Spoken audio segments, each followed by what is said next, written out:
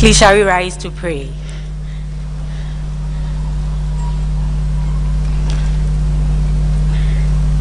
Father, in Jesus' mighty name we pray. We commit this day into your hands. The Bible says, if we commit our thoughts unto you, our plan shall succeed. We are here for a purpose.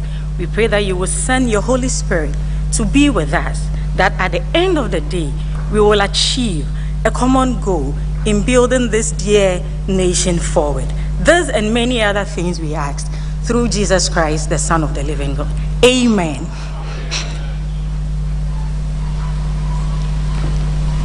Respectfully, shall we remain standing for the anthem of the National Democratic Congress? It's a sound mind.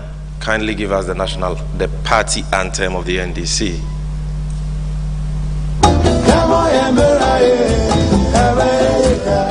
Party anthem of the NDC.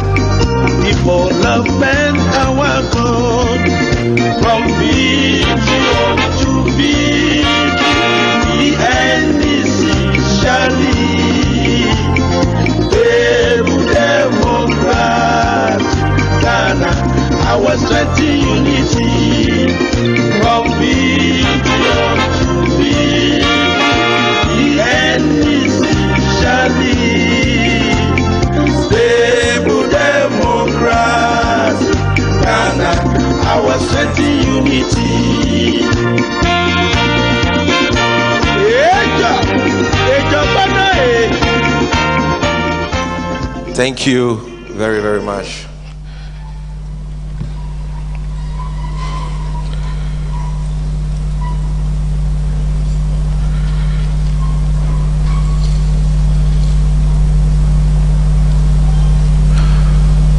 Good afternoon, distinguished ladies and gentlemen who have assembled in this auditorium here at the University of Professional Studies. And good afternoon to all Ghanaians and persons who are listening and watching this very important program from far and near. We've gathered here today for a very simple task. As you may be aware, on the 8th of March 2023, the President of the Republic of Ghana, Nana Addo Dankwa Akufo-Addo, presented to Parliament what he called the message of the nation.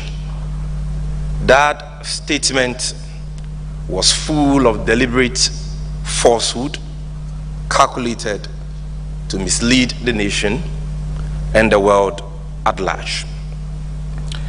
As Thomas Paine, an English born American philosopher, said, a body of men holding themselves accountable to nobody ought not to be trusted by anybody. President Akufo-Addo and the ruling NPP have time and again failed to render a true account of the state of our country. And therefore, Ghanaians cannot trust them as far as the state of affairs in our nation is concerned. This is why we in the NDC the only viable alternative to the government, and I should say by the grace of God, the government in waiting, are duty bound to present to the nation the true state of our country. And we promise you that we will serve you with the truth, the whole truth, and nothing but the truth in the address you are about to listen to, such that by the time we leave here, we'll all be equipped with the necessary facts and information about the true state of our nation. We will know where we are as a country, how we got here, why we are here, and how we can come out from the mess we find ourselves in. Before I introduce our speaker for today, permit me to acknowledge a few of the dignitaries we have in this auditorium and the many media networks who are streaming this program live on their esteemed platforms. First of all, I want to acknowledge members of the Functional Executive Committee of the National Democratic Congress. A round of applause for them. And let me especially single out our boss, my senior brother, Comrade Fifi Fiave the General Secretary. I would also like to acknowledge members of our National Executive Committee, NEC of the party. I see a lot of regional chairmen and regional executives here. Members of NEC, can you wave at us? Let's acknowledge them with a round of applause. I also want to acknowledge our gallant members of parliament. I'm talking about the members of the Minority Caucus led by the able Minority Leader, Honorable Dr. Ato. Minority Chief Whip, Honorable Kwame Agbodza, we recognize your presence. Ladies and gentlemen, I also want to acknowledge the presence of the former Attorney General and Minister of Justice, Honorable Marietta Brew Appiah. I see many leading members of the party on the front row will be acknowledging you in due course. I also want to specially acknowledge the running mate for the NDC for the 2020 presidential elections, Professor Nana Jane Opoku-Agyemang. A round of applause for her.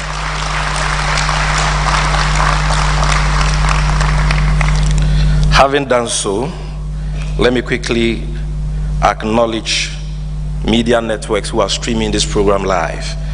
We are live on TV3, United Television, GH1 Television, Joy News, Metro TV, Kessben FM, both in Accra and Kumasi, and all the affiliate stations, TVXYZ, CTV, Pan African TV, Loud Silence Media, Accra FM, Ahoto FM, Power FM, Class FM, Asempa FM, Radio Gold, Weasel Television, Star FM, the NDC Communications Bureau pages on Facebook and YouTube, which are streaming this program live. In Central Region, we are live on Rich FM, Benya FM, Live FM, Sweet FM, Coastal FM, Obrumankuma FM, Cape FM, and Nice FM. In the Eastern Region, we are live on Radio 1 FM, Okwau FM, and in the Ahafo region, we are live on Adunu FM and Nananom FM. In the Northeast region, we are live on SCAP FM, LOM FM, Tizar Radio, and Lamarata FM. In the Oti region, we are live on Oti Radio, Buim FM, Key FM, Niwasi Radio, and Sekpili. And in the Volta region, we are live on Sela FM, Hills FM, and Akpini Radio. As we move on, we shall acknowledge the many other media networks in other parts of the country who are streaming this program live. Now is the time for the moment, the time we are waiting for. Ladies and gentlemen, our speaker for today is an institution and a colossus in the politics of this country, having served in many positions in many spheres of the nation. He started off as an assemblyman he later became a member of the Consultative Assembly that drafted the 1992 Constitution representing the Wenchi West district. He then became a member of parliament for a period of 12 years. And while serving as a member of parliament, served as a member of the finance committee and even rose to become the vice chairman of the finance committee of parliament. As MP, he also served as a member on the mines and energy committee and the public accounts committee. He became a deputy minister for food and agriculture and at some point the minority spokesperson for agric and cocoa affairs for four years.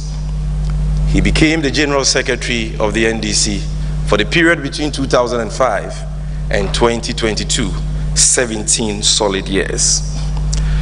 He's been a bank manager before, he's been a stockbroker before, and he's currently the national chairman and the leader of the great NDC.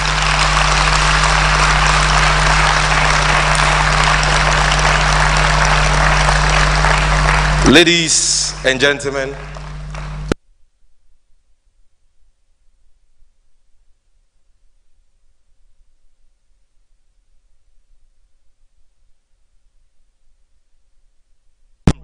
Johnson Asiedu Nketia. Eja!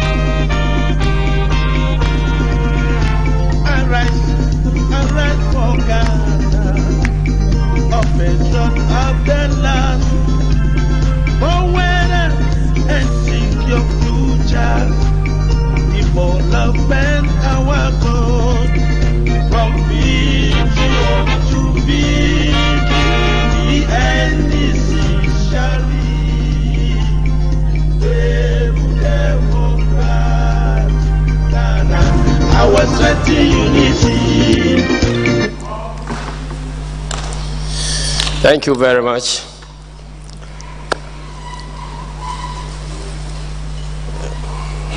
Let me begin by thanking the MC for the very good things said about me. Unfortunately, he left my most important profession, that is a Pawan tapper. I'm very proud to be a Pawan tapper because there are some skills there that are not uh, known by ordinary people. My brothers and sisters, thank you very much for joining us both in this auditorium and through various media outlets for this critical national event on the state of our nation. A couple of weeks ago, President Nana Dankwa Akufo-Addo presented a message on the state of the nation to Parliament as required by Article 67 of the 1992 Constitution. In that address, the President desperately attempted to put up an upbeat spin on a truly dismal national situation. However, even before he stepped up to fulfill that constitutional duty, all Ghanaians were fully aware that the state of our nation is hopeless. Ladies and gentlemen, hopelessness, recklessness, corruption, and leadership paralysis define the current state of our nation. In Ghana today, childhood vaccines are in short supply, leading to a measles outbreak. False claims by the president of a global shortage have been exposed as Nigeria had excess vaccines to come to the rescue of Ghana's babies. We are going through a draconian debt restructuring program for the first time in our entire history thanks to the monumental mismanagement of the Akufo-Addo Bawumia NPP government.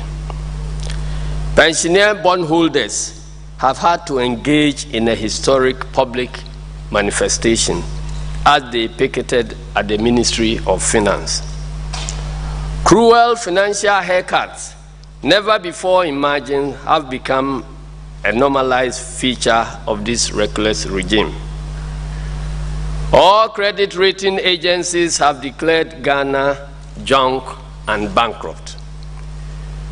Ghana has, for the first time in more than half a century, defaulted in its debt obligations.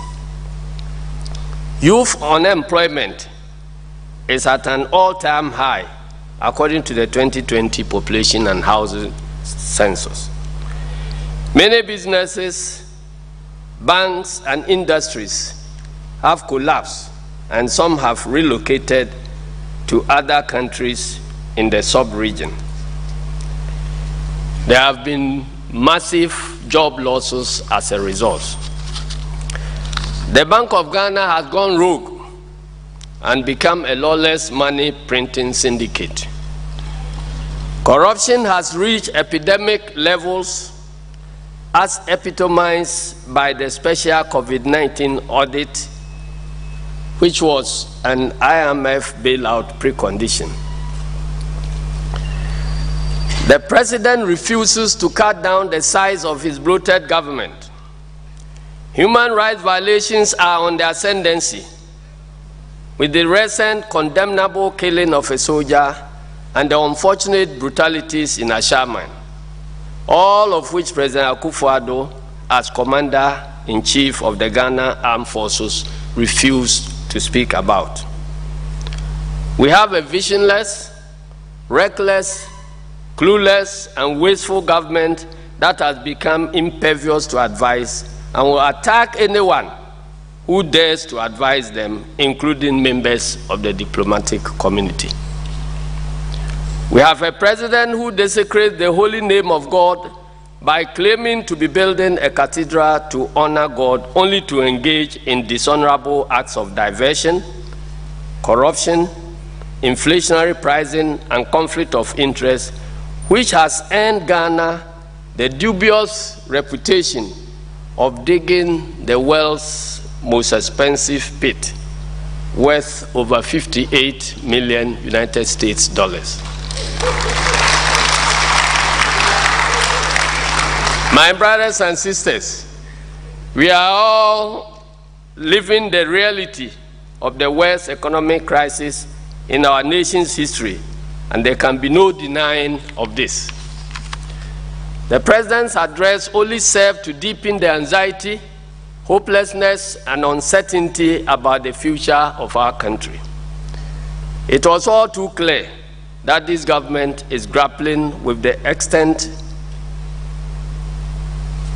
of the crisis they have created, let alone figure out what to do to bring us out of the mess. President Akufo-Addo failed to convince the Ghanaian people that there is any end in sight to the suffering and pain that his government's recklessness and misguided policies have brought on us.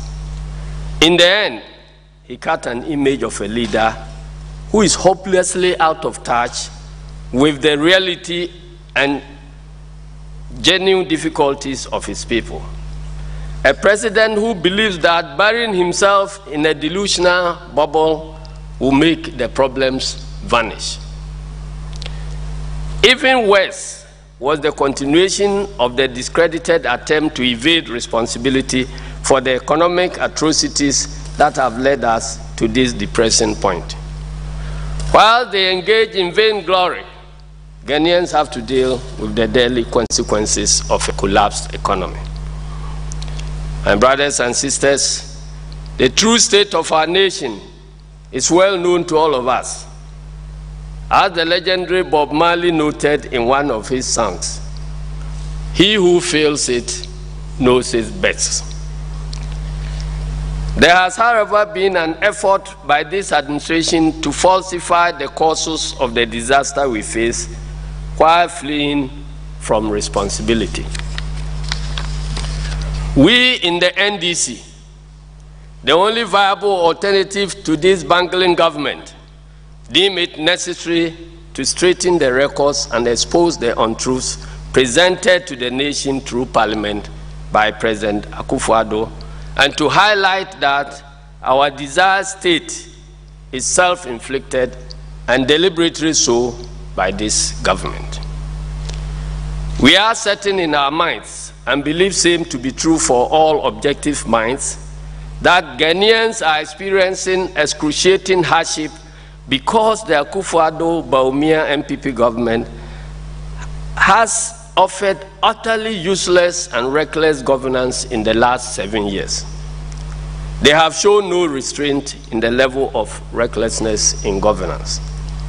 My brothers and sisters, today, the public debt stock, which stood at 120 billion cedis in 2016, has increased to a whopping 600 billion cedis, while the debt of debt to GDP ratio that was 56% in 2016 now stands at 103%.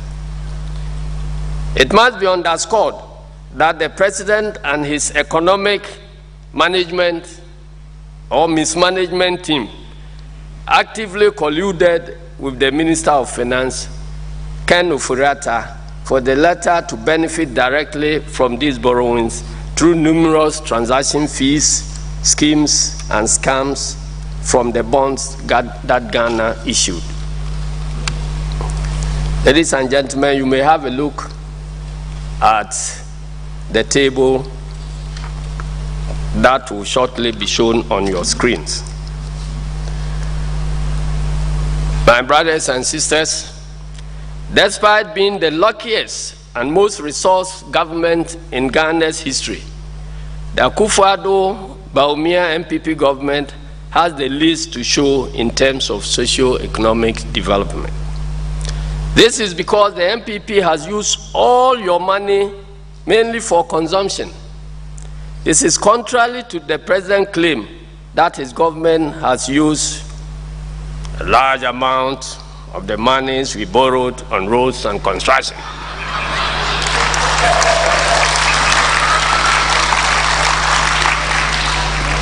The president knows he deliberately misled Ghanaians with this claim because he's aware that only a minute amount of the overall resource envelope that has accrued to his government since 2017 has been used for the construction and rehabilitation of roads in this country. The truth is that only an abysmal 1.6 percent of the total resource envelope of 820 billion Ghana cedis has been spent on roads by this government. Official government of Ghana records show that a whopping 93% of the 820 billion Ghana cedis has been spent on consumption, including Akufo-Addo's 20,000 euros an hour luxurious private jet travels across the world, hired over several months at the expense of the taxpayer. It is a tragedy that the president will classify routine minor road repairs such as resealing, reshaping, pothole filling, regraveling, and even the silting of gutters as new road construction. The claim that this government has constructed over 11,000 kilometers of new roads is false and should be completely disregarded. The president should hang his head in shame. Apart from the unsustainable debt of the country. The budget deficit, which stood at 6.1% in 2016, now stands at a whopping 12% under the watch of the Bawumia-led economic management team. This is after it rose to an unprecedented high of 15.7% in 2020 owing to the reckless election-driven spending of the government. Per government's own figures, the rate of inflation, which stood at 15.4% as of December 2016, now stands at a hyper rate of 52% and rising. The lending rate that stood at 25% on average in the year 2016 now stands between 38% and 45%, whilst exchange rate depreciation that stood at 9.6% for the year 2016 now stands at 23% for the first two months of this year alone. This is after the cedi depreciated by over 54% in the first 11 months of last year, 2022, making it the worst performing currency in the world.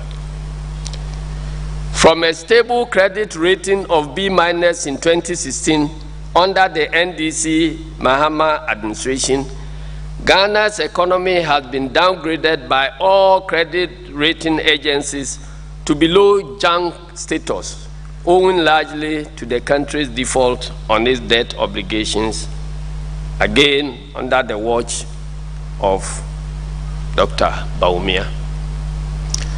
After supervising an increase in the rate of unemployment from 8.4% as at 2016 to 14% in 2021, the Bawumia-led economic management team has now placed a total freeze on public sector employment.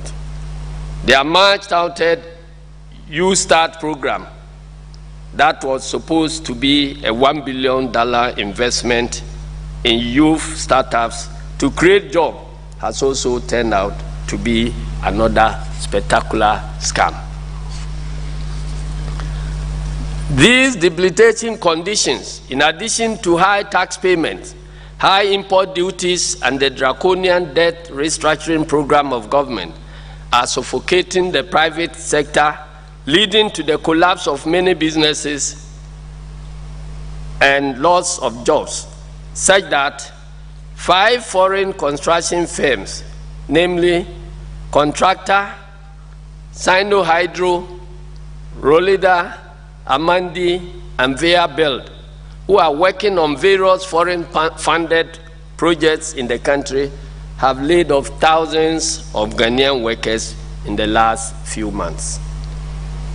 Ladies and gentlemen, the destruction of the economy by the Akufo-Addo Bawumia NPP government permeates every sector of the nation. For instance, growth rate of the agriculture sector has seen a decline from 2.7% in 2016 to 0.7% in 2022. And I would say this is the harvest from the Planting for Food and Jobs program, which has received billions of taxpayer and donor funds. Similarly, the growth rate for the manufacturing sector has also declined from 7.9% in 2016 to 4.5% in 2022 thereby calling into question the impact of the much vaunted 1D, 1F program. Further, the growth rate for the construction sector has also declined from 8.4% in 2016 to 4.2% in 2022, despite government's claim about borrowing to build roads and other infrastructure. Ladies and gentlemen, this is the true state of our nation.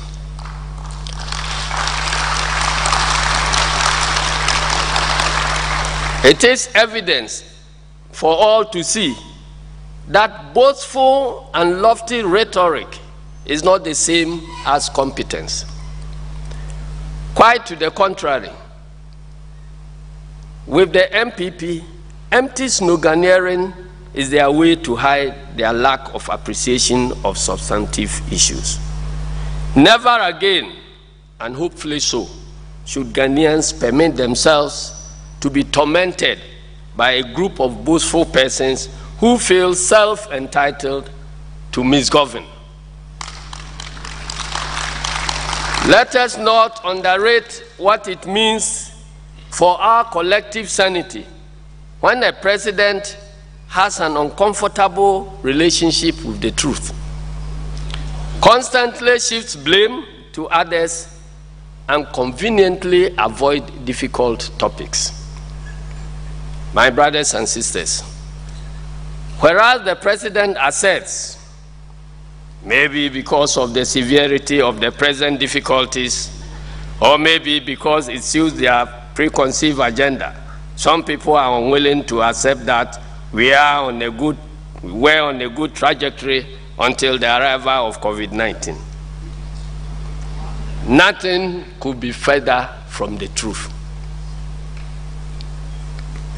Ghanaians want relief from the socio-economic pain and hardship visited on them by the NPP administration and not flimsy excuses.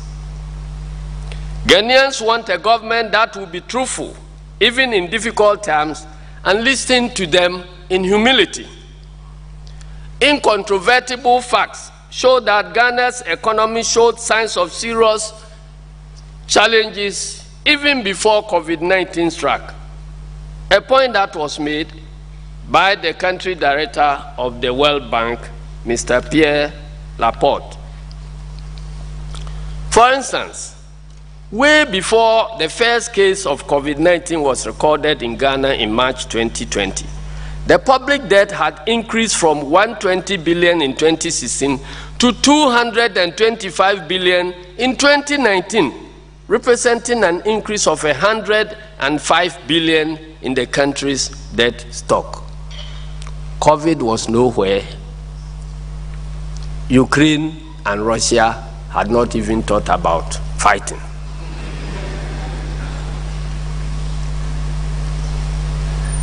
Our debt to GDP ratio had increased from 56% in 2016 to about 70% in 2019. That is including the ESLA, Daakye, and other hidden debts. Before COVID 19, the debt servicing amount had increased from 11 billion in 2016 to 37 billion in 2019 and constituted 91% of tax revenue. There was no COVID, no Ukraine and Russia, and the queen was still alive, and uh, no earthquake in Turkey. Also, the budget deficit had exceeded the legally acceptable threshold of 5% and had hit 7.5% in 2018 and 7% in 2019. There was no COVID. Again, before COVID 19, the Ghana cedi in 2019 was plummeting in double digits, leading to the setting up of a 40 member committee by the government to investigate the causes of the alarming depreciation of the national currency. Surprisingly, the committee excluded the chairman of the economic management team, a move described by many analysts as a vote of no confidence in the competence of His Excellency Vice President Mahamudu Bawumia by his own government. In fact, per paragraph 61 of this government's own 2020 mid-year budget review statement, and I beg to quote, in the year to December 2019, the Ghana cedi cumulative depreciated by 12.9% against the US dollar compared with 8.4% depreciation in 2018. Against the British pound and euro, the Ghana cedi cumulatively depreciated by 15.7% and 12% respectively, compared with 3.3% and 3.9% over the same period in 2018, unquote. Far from being the cause of economic collapse, COVID-19 in fact brought the Akufo-Addo Bawumia government an unprecedented windfall of about 30 billion Ghana cedis to manage and mitigate the impact of the pandemic. Unfortunately, this was largely wasted on election-related expenses. This amount excludes proceeds from the obnoxious COVID-19 levy which Ghanaians continue to pay till date. My brothers and sisters, according to the Auditor General, only 11.7% of this amount was spent on government COVID-19, with the remainder of about 18 billion being channeled into so-called budget support. There is no gainsaying the fact that the coronavirus pandemic affected all countries in the world, including our next door neighbors, Benin, Togo, Cote d'Ivoire, Burkina Faso, and Nigeria. Whereas these countries manage their resources prudently, thereby recording deficits below 8% and debt to GDP ratios of below 65%, the Akufo-Addo Bawumia government borrowed excessively and spent recklessly for election purposes, thereby recording a disastrous deficit of 15.7% and a debt to GDP ratio of about 80% in 2020. It is instructive to note that in the year 2020, when COVID was at its peak, all our neighbors recorded a budget deficit of less than 8%.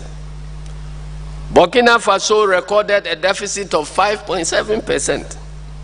Cote d'Ivoire recorded a deficit of 5.6%. Nigeria recorded a deficit of 5.8%, and Senegal recorded a deficit of 6.4%.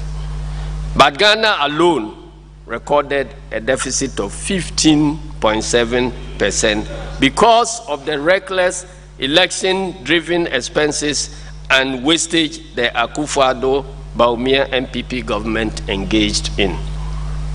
My brothers and sisters, did COVID-19 affect Ghana any more than it did to our neighbors? How come none of these countries who were all affected by the pandemic are recording double-digit deficits and high debt to GDP ratio of over 100%? How come none of these countries are recording inflation rates of over 50% like Ghana? How come none of this has defaulted on their debt repayments? How can none of them has been downgraded to junk status and have been locked out of the international capital market? How come none of these countries are going through a domestic debt restructuring? How come none of these countries are visiting cruel financial haircuts on their citizens, including pensioners? How come none of these countries are experiencing childhood vaccine shortages? To paraphrase Dr. Bawumia, how did COVID-19 jump, from jump over Nigeria, Benin, Cote d'Ivoire, and other neighbors of ours to attack and destroy only Ghana's economy? Ladies and gentlemen, the truth of the matter is that the economic mess we have on our hands has largely been brought about by the reckless spending, excessive borrowing, and, and crash economic mismanagement by the Bawumia-led economic management team, and not any external factors as government will have us believe. The last thing that is required in time of crisis is a leader whose words ring hollow and who cannot be trusted. In truth, Akufo-Addo has proven Steven Levitsky right when he wrote in his famous book, How Democracies Die. And this was what he said. Quote, For a demagogue who feels besieged by critics and shackled by democratic institutions, crisis open a window of opportunity to silence critics and weaken rivals. Indeed, elected autocrats often need crisis. External threats offer them a chance to break free, both swiftly and very often legally. Unquote. During this crisis, nothing the president says can be believed because everything he has said has proven to be untrue. Ghanaians have come to realize that the claim by the president that he knew how to revive a dead economy was a scam. Quote, we are a proud nation. We are not going to IMF was a scam. There will be no haircuts was a scam. The promise to build 88 district hospitals within a year was a scam. Agenda 111 project was a scam. The promise to abolish road tolls was a scam. The promise to convert toll booths into modern, ultra-modern public toilets on our highways. The claim that there was a global shortage of childhood vaccines. Was a scam. No state funds will finance the National Cathedral. Was a scam designed to fleece the state by the likes of Reverend Victor Kusi or Kwabena Adu whichever sounds better to you, David Adjaye and Kerry Summers. Ladies and gentlemen, another deliberate falsehood peddled by the president in his infamous address was the claim that his government has constructed more NCA licensed fiber optic cables than any other government in the Fourth Republic. We submit that the total of 93% of fiber optic cables the president claimed credit for constitute the greatest telecom scam ever. At least the NPP must give credit to the NDC for providing the 900 kilometer Eastern Corridor fiber optic network running from Ho to Bawku with a link from Yendi to Tamale and an extension to the campus of the University of Health and Allied Sciences. The 300 kilometer Accra Tema Metro fiber. The wireless broadband of 119 4G LTE base station to power the Gota phone system. And let me add, the Ministry of Communication, the National Data Center, the Accra Digital Center, and the National Communications Authority are all housed by NDC constructed edifices.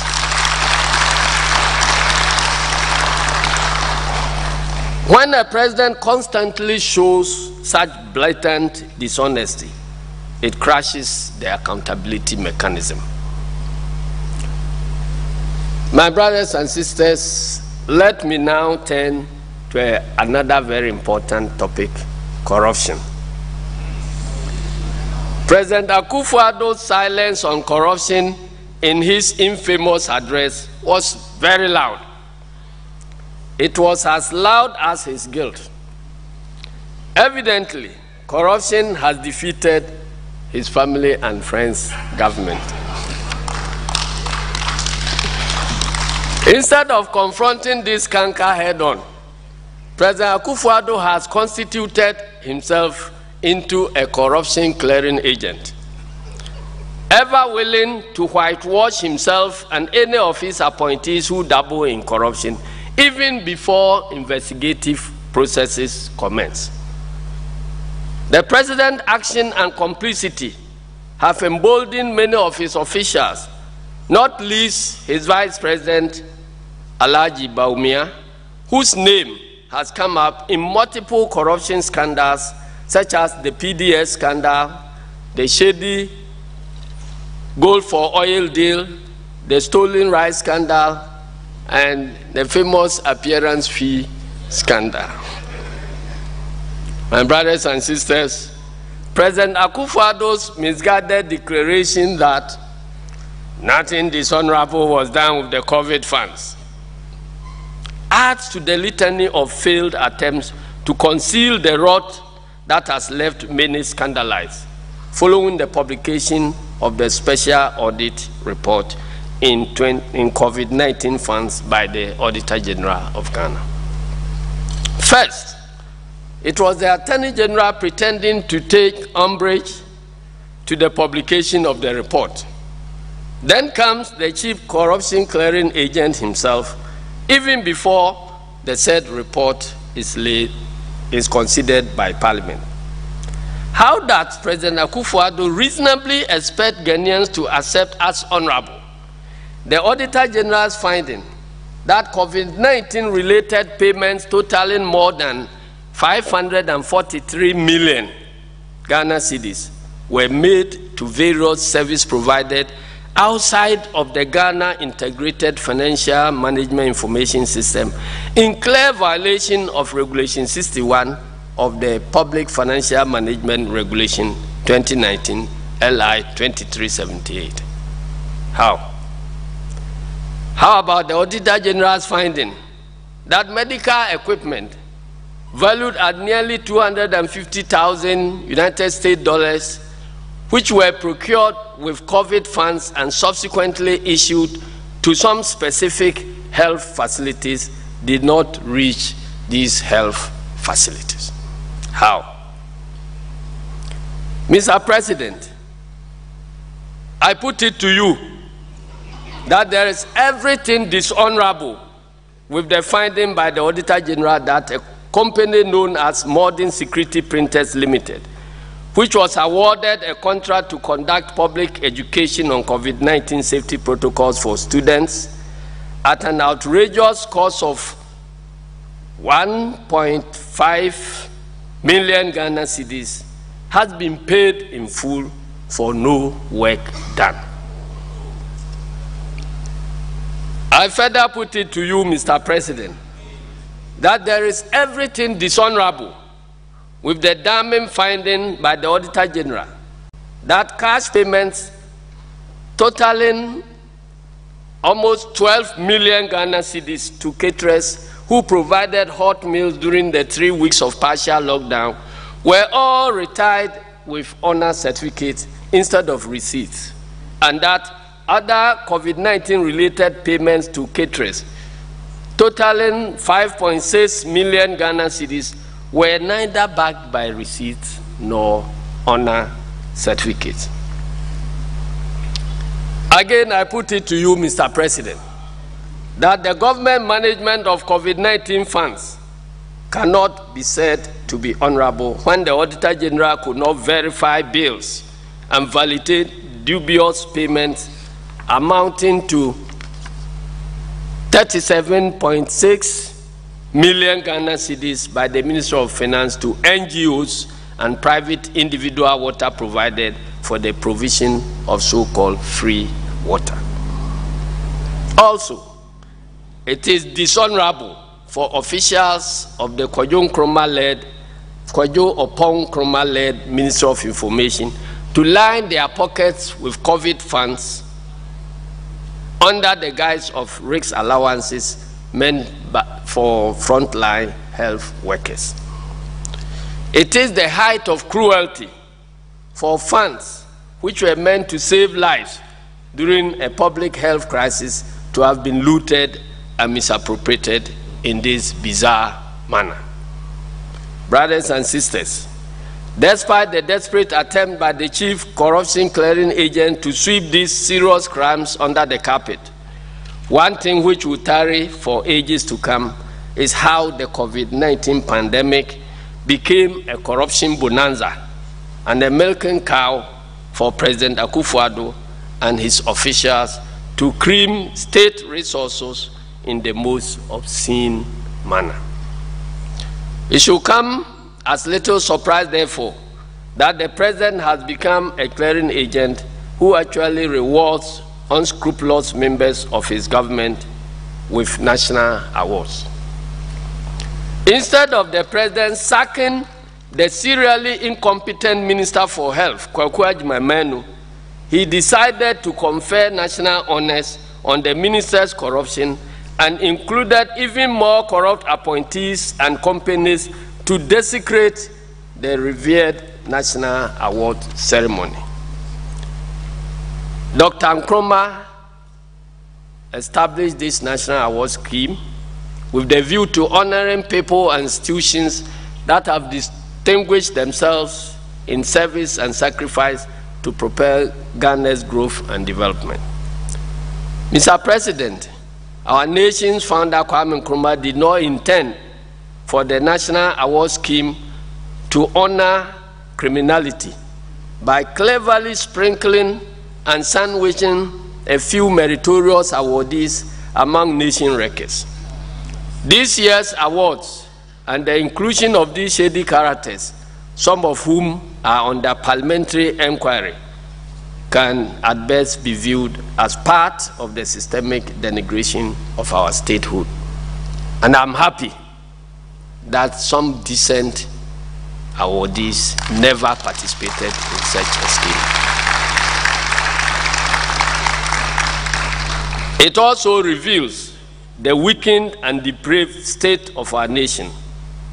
A nation where those who scrutinize government dubious expenditures are chased out of office as auditor generals, the Domelevos of this world. A nation where journalists who unearth corruption are harassed, intimidated, and sometimes murdered, the Ahmed Suales of this world a nation where members of parliament who diligently carry out their constitutional mandate of oversight and expose crimes are persecuted. There's Samuel Okudzeto, Ablakwas, and Ato Forsons of this world. And a nation where those who fight corruption are fought back and are even described as terrorists by the courts the Anas Aremeyaw Anas of this world.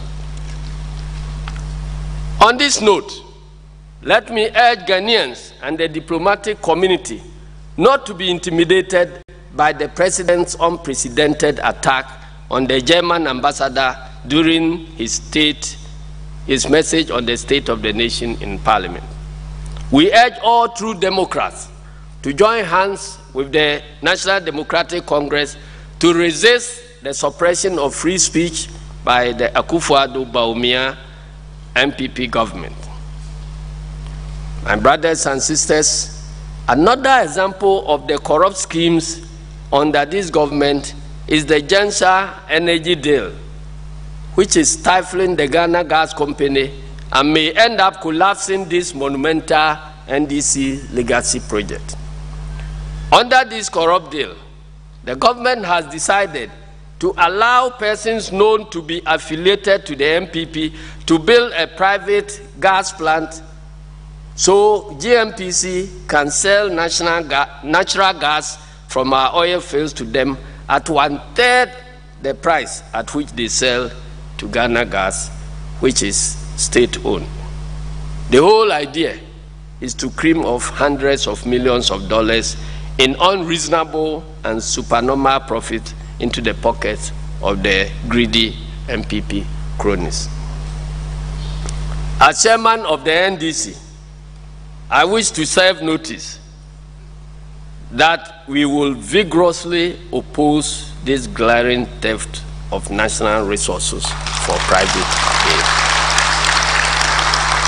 Ladies and gentlemen, the NDC believes Institutions must work and the standards must even be higher for independent constitutional bodies that are legally clothed with independence to work independently. This is why we in NDC maintain that the Electoral Commission must abandon its intransigence and listen to wise counsel in order to save Ghana's democracy. Why would the EC insist on making the Ghana card the sole document for registration of voters when the National Identity Registration Law allows for the guarantor system as an identification mechanism? Why? In the interest of our democracy and development, a Jean Mensa-led EC should for once agree with the opposition NDC, civil society organizations, and other well-meaning Ghanaians, including the Venerable Dr. Kojo Afari-Gyan, Ghana's longest-serving former chairman of the Electoral Commission and foremost authority on electoral issues, who insists that the guarantor system must be maintained in our electoral system. My brothers and sisters, another reason for Ghana's economic collapse is the expenditure on the bloated size of government. As has been revealed by our hard-working members of parliament, between January and September of 2022, the Akufo-Addo presidency wasted the taxpayers' money as follows. The president's operational enhancement expenditure, whatever that means, cost the suffering Ghanaian taxpayer a mind-boggling 59.4 million Ghana cedis. The fuel bills at the president alone cost the taxpayer 51.1 million Ghana cedis. President Akufo-Addo's regional tours last year cost 16.9 million Ghana cedis. Ties and batteries for official vehicles at the presidency alone cost Ghanaians 15 million Ghana cedis. A cabinet retreat, cabinet meeting outside Accra,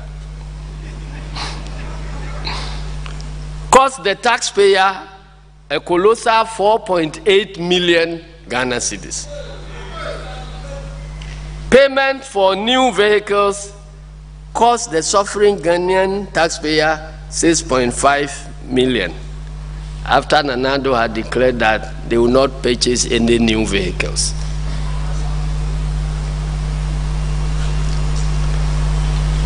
Payment for networking and ICT equipment cost the Ghanaian taxpayer 6.6 million Ghana cedis.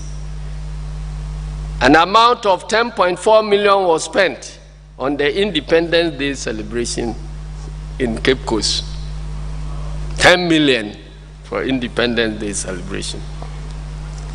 An amount of 4 million was spent by the Vice President on so-called emergency activities. Whatever that means, nobody knows.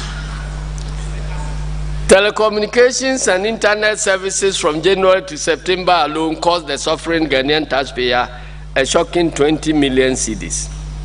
And last but not the least, furniture, expenditure on office furniture and fittings cost 7 million cedis.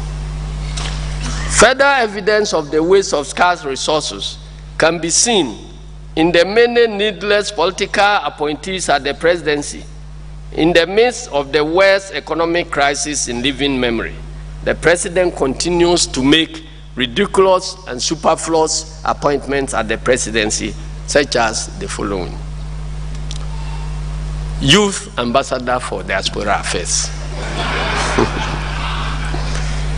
Policy Associate, Chief Executive of Public Sector Reforms, Overseer of the National Cathedral, Church Relations Manager, Diaspora Church Mobilization Officer, Policy and Coordinator Analyst, Focal Person, La Francophonie, Technical Director, La Francophonie, Coordinator, Special Development Initiative Secretariat. Director of Special Projects. Manager of Operations and Programs. Five Technical Communication Assistants. Technical Advisor, Zongo Development Authority. Two Technical Advisors, Special Development Initiative Secretariat. Technical Advisor, Political Affairs. Presidential Staffer, NAPCO. Office Management Executive Associate. Technical Director to the Presidential Advisor on Media. And Data Manager. Enough of this disaster of a government that continues to waste the already battered public purse with reckless abandon. We demand an immediate dismissal of these redundant hangers on at the presidency.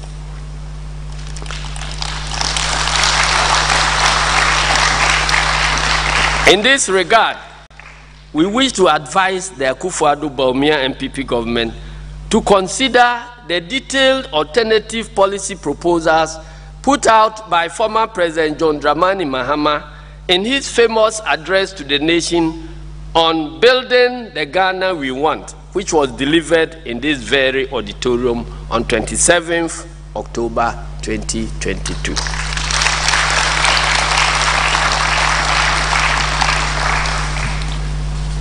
In conclusion, ladies and gentlemen, we in the NDC love our dear nation, Ghana. We shall neither prize partisan politics above policy nor personal interests above patriotism. Therefore, we shall continue to engage our members of parliament, civil society organizations, religious organizations, organized labor, and all stakeholders to fashion out a viable and sustainable alternative strategy to save Ghana's economy and democracy. Saving our economy also means saving our democracy. So we expect the president to drastically cut down the size of his government to signal a new beginning. We further expect the government to be tolerant to dissent heed the calls for implementation of the Constitutional Review Committee recommendations, eschew profligacy, desist from nepotism and corruption, sanction corrupt officials, and be honest about the true state of the nation. My brothers and sisters, it is obvious that President Akufo-Addo, who continues to reveal in the largesse of high office, does not appreciate the present day reality of the Ghanaian people. The president continues to live in his own world, far removed from yours and mine, that he fails or neglects to appreciate the true state of the nation. It is absolutely important to awaken President Akufo-Addo and the ruling NPP to the uncomfortable but frank true state of Ghana today. A nation of many living in fear of where to find their next meal, leaving many parents to endure sleepless nights. The true state of our dear nation no longer lies in flowery speeches laced with political chicanery that never accept responsibility for anything. Neither does it lie in the abstract theories that blame personal feelings on events that have no significant impact on our lives. The true state of the nation is when a ball of kenkey, which used to sell between 50 pesos and 1 cedi in December 2016, is now being sold for between 4 cedis and 5 cedis.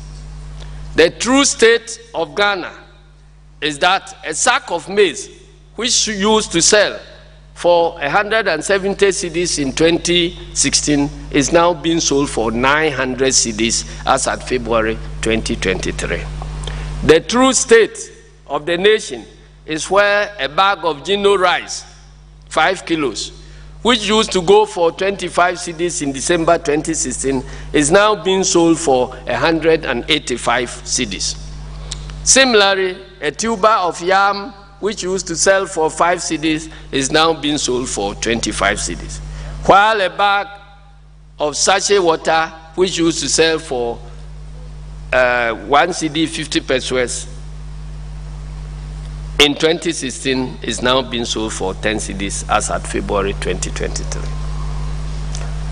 Also, a bag of cement, which sold for 27 cedis in December 2016, is today selling at a staggering 90 cedis. And last but not the least, even sanitary pad, which used to sell for 2 cedis 50 pesos in December 2016, is today selling for 20 cedis. When everything is said and done, this is the true state of our nation, Ghana. This is what we feel when we go to the market. This is what we feel in our pockets. This is our everyday reality. A reality in which babies do not have vaccines, leading to a measles outbreak. The youth do not have jobs. The middle class faces imminent extinction. The elderly are being deprived of their life savings by the very government that swore to protect them. This is not the Ghana we deserve. This is not the Ghana our forebears toiled and sacrificed for. The NDC shall not be complicit in this mess. We are determined to work assiduously with the Ghanaian people through our superior patriotic policy alternatives and impressive track record to rescue our dear nation from the abyss. We are certain with God on our side, we shall succeed. Thank you very much, and may God bless our homeland, Ghana.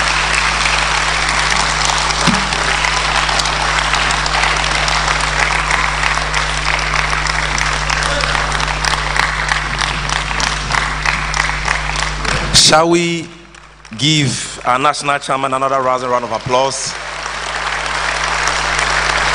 And while at it, Mr. Soundman, get ready to play Yanarai Assassini. Please, shall we resume our seats? We shall sing that before we leave the auditorium. Wow, what a speech. Ladies and gentlemen, I believe you would agree with me that address you just listened to reflects accurately the true states of our dear nation.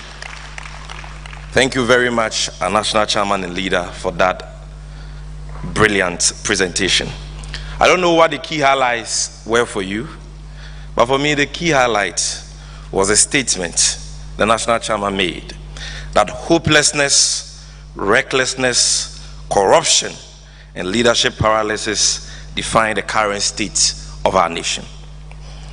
And then the one which I'm sure all of us will not forget as we leave this auditorium. He says, Ghanaians have come to realize that the claim by the president that he knew how to revive a dead economy was what? The claim that we are a proud nation and that we were never going to go to the IMF was what? The promise by the president that there will be no haircuts was also what? The promise to build 88 district hospitals within one year was what? The Agenda 11 hospital project was what? The promise to abolish road tolls was what? The promise to convert toll booths into ultra-modern public toilets was what? And the claim that there was a global shortage of childhood vaccines was what? Thank you very much. Let's give our national chairman another round of applause.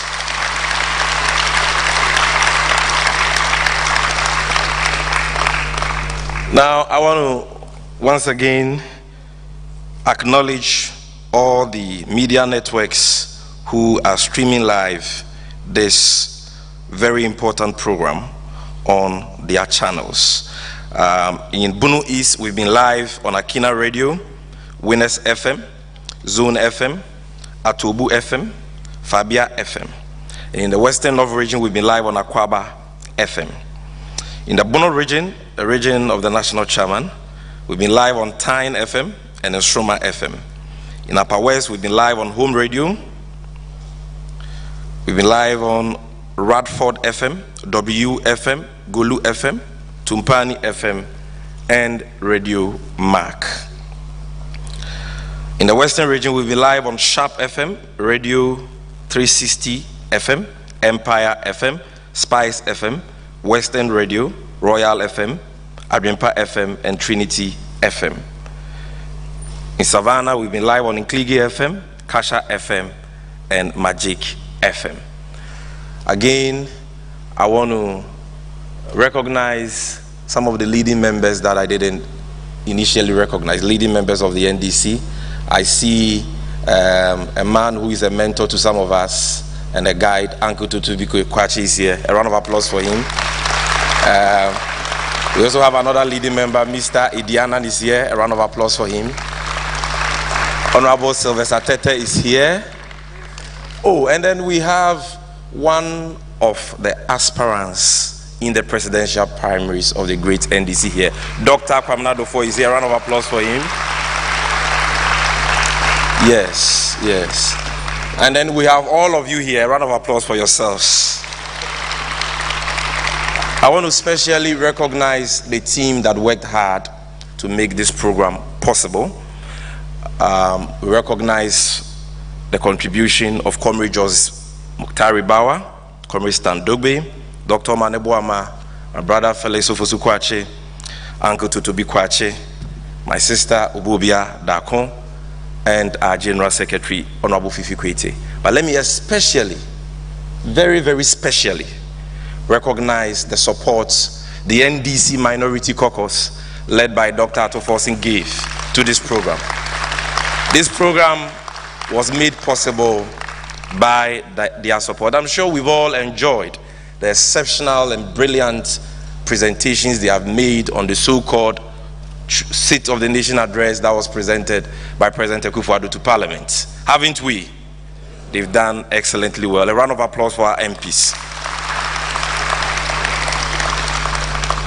Mr. Soundman, is the sound ready? Okay, so shall, before we take the closing prayer, shall we rise on our feet and sing Yanara Assassini? Numara assassini era morte di Maria, Mojanana nanum shebunyani somaye. Etumini wansoso, seya beye biatsoso, Indioja sokotu kani nyapasabi kuminya, Eti ebra mutamayen sasu utatumse, Omanu sebeyeyo,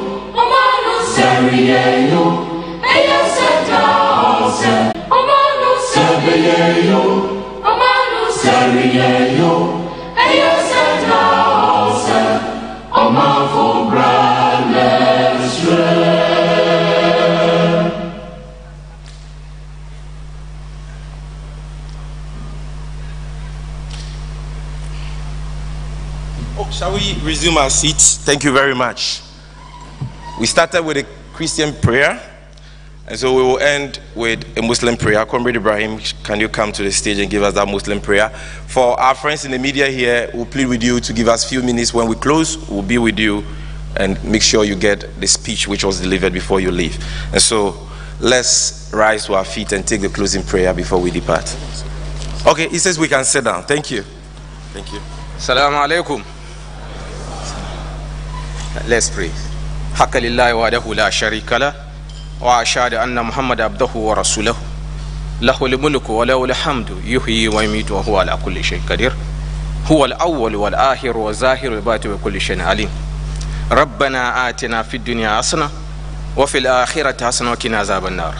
ربنا لا تزغ قلوبنا بعد إذ هديتنا وهب لنا من لدنك رحمة إنك أنت الوهاب. بسم الله الرحمن الرحيم. الحمد لله رب العالمين. الرحمن الرحيم مالك يوم الدين إياك نعبد وإياك نستعين اهدنا الصراط المستقيم. صراط الذين أنعمت عليهم غير مغضوب عليهم ولا الضالين. آمين.